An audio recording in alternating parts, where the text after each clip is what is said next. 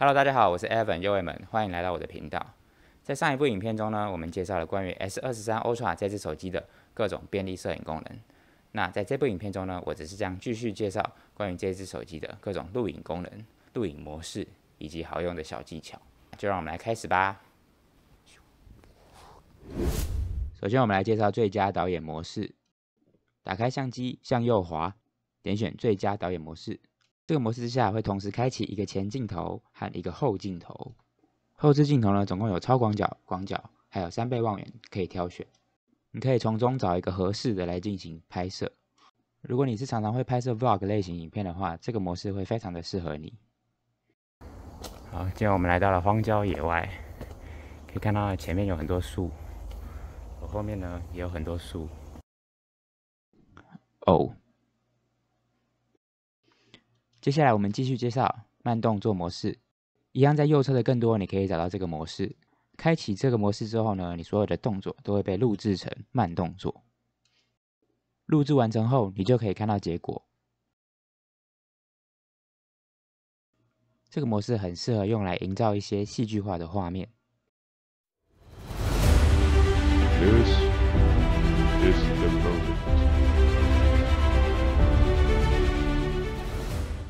再来，我们继续介绍缩时摄影模式。在开始拍摄缩时之前，会先建议将手机放在固定的地方，例如脚架，来避免晃动。接着，一样点开右边的更多，找到缩时摄影模式。点击左侧的选单，可以看到这边有提供不同的速度可以选择。那这个速度指的是加速的幅度，例如三十就是把三十秒浓缩到一秒钟，六十呢则是把一分钟浓缩到一秒钟。通常在拍摄城市的人潮、车潮，我们会把加速度选择在十到三十的区间。那如果在拍摄日出日落这种景观的话，会选择三十到六十秒这个区间。按下记录后，稍等一段时间后，就可以看到结果喽。除了拍摄风景，这个模式也很适合用来记录城市的人潮与车潮。在一般录影模式中，轻轻点一下画面左侧的这只小手，就可以开启超稳定动态录影模式。在这个模式中，拍摄的画面呢会比一般的录影模式更加的稳定。来看一下画面，你看得出哪一个是使用超稳定动态录影模式所拍摄的吗？答案是左边。虽然两者差距其实不大，不过仔细看的话，还是可以看出左边有稍微比较平稳。不过需要注意的是，超稳定模式会造成画质减损，这在拍摄夜景的时候尤其明显，所以我会建议避免在晚上使用这种模式。接下来和大家分享自动追焦的小技巧，在拍摄会移动的主体的时候，可能会因为主体的移动而导致失焦，这时候我们只要轻点一下主体。手机就会自动追踪主体，进行持续的对焦，这样就可以避免失焦喽。那如果主体整只跑到画面外怎么办呢？除了手动控制以外，也可以使用下个我们要介绍的功能——自动取景摄影。在录影模式中，我们可以看到右侧有个方块形的选项，点击以后就可以开启自动取景摄影。在所有功能中，我觉得这是最神奇的 AI 科技。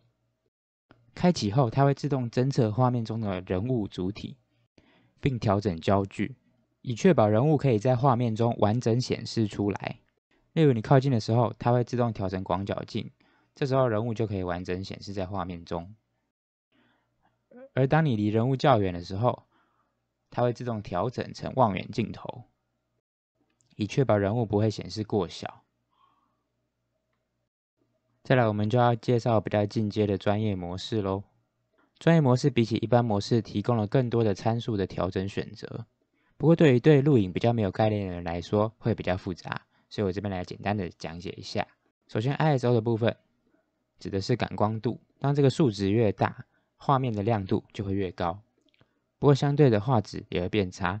快门呢，则是指着每一帧画面的曝光程度，当速度越快，画面就会越亮。一般我们在拍摄影片的时候，快门速度会是 FPS 的两倍。那关于 FPS，我会在后面再做解释。那如果你听到这边就觉得一头雾水的话，没关系。如果你只是想调整画面的亮度的话，直接透过 EV 这边调整，手机就会自动帮你透过调整刚刚两个参数来达成你想要的效果了。往上拉就可以变亮，往下拉就可以变暗，非常的单纯。回来讲解 FPS 的部分，FPS 是 frame per second 的缩写，也就是每秒钟的帧数。那什么是帧数呢？所谓的影片其实是由一连串的照片所组成的，每一秒钟总共有几张照片，就是 FPS 的意思。在录影模式的左侧，我们可以找到关于画质与帧数的选项。我们来做一个极端的对比：二十四 FPS 跟一百二十 FPS 的差异。乍看之下，差异不会很明显。不过，如果我们将速度放慢到五分之一，这时候二十四 FPS 会变成将近五 FPS，而一百二十 FPS 则还会有二十四 FPS。这样就可以看出二十四 FPS 有明显的卡顿情况。所以，当你在拍摄影片的时候，如果你本来就预计在后置的时候将速度调慢，营造一些慢动作的效果的时候，请记得使用比较高的帧数来进行拍摄。另外，如果你会在后置的时候进行裁切，或是会将影片放在比较大的荧幕上播放的时候，请记得使用比较高的解析度，例如 4K 或甚至 8K 来进行拍摄。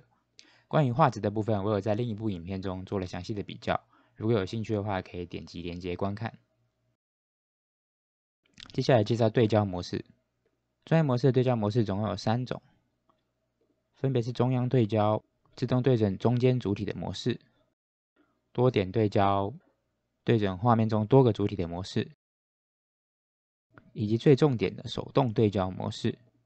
在手动模式之下呢，右边会有个滑杆，让你可以自己选择对焦的焦距。当调整焦距的时候，有对到画面中对应的主体的时候，你会发现主体旁的轮廓会出现这种绿色的框线。那这只是提醒你，你现在是有对到这个地方的，它实际上并不会出现在你的录影的影片之中，不用担心。透过这种对焦方式呢。你可以手动控制你的对焦速度，以此来营造一些情绪。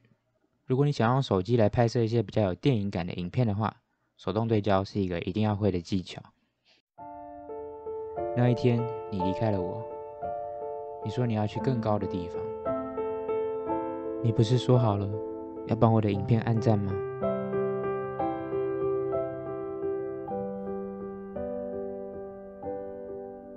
好，整理一下情绪。我们接下来介绍最后一个技巧——滑杆缩放。